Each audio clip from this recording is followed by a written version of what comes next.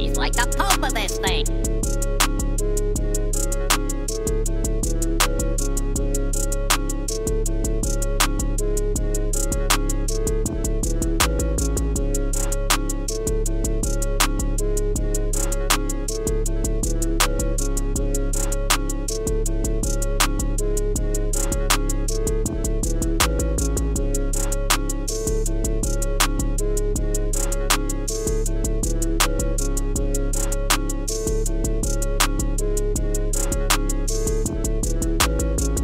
the pulp of this thing.